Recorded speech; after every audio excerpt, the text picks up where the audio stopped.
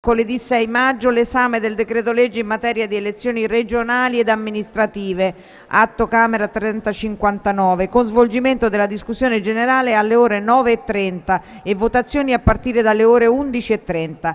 Sempre secondo tale intesa, dopo l'esame del decreto legge sarà iscritto all'ordine del giorno il seguito della discussione degli argomenti attualmente previsti per la seduta di giovedì. Si tratta in particolare delle mozioni concernenti iniziative in merito all'emergenza umanitaria relativa al campo profughi di Yarmouk in Siria, iniziative volte a garantire agli enti locali adeguati trasferimenti di risorse, iniziative in materia di esenzione dall'IMU per i terreni agricoli, iniziative di competenza in ordine alla razionalizzazione della rete degli uffici postali, iniziative per la promozione dell'educazione alimentare nelle scuole. Se non vi sono obiezioni così rimane stabilito.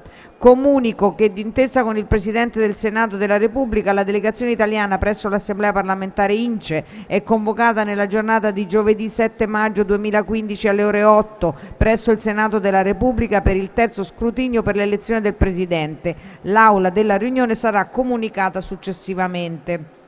Comunico che in data 4 maggio 2015 il Presidente del Senato ha chiamato a far parte della Commissione parlamentare di inchiesta sul fenomeno delle mafie e sulle altre associazioni criminali anche straniere il senatore Giuseppe Pagano in sostituzione del senatore Giovanni Bilardi dimissionario.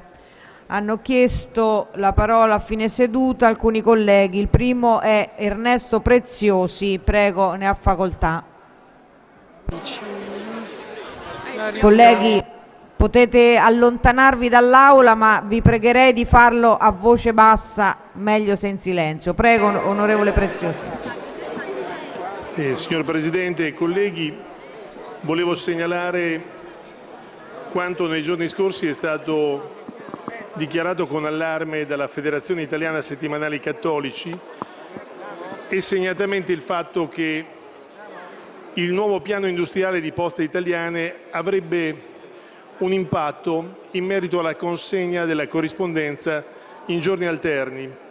È un impatto che si diffonde e danneggia in qualche modo la piccola stampa, una stampa che ha un radicamento territoriale, soprattutto in zone interne del paese, in zone di minore frequenza eh, di percorso della grande stampa e che ha nella tradizione dei settimanali cattolici un punto di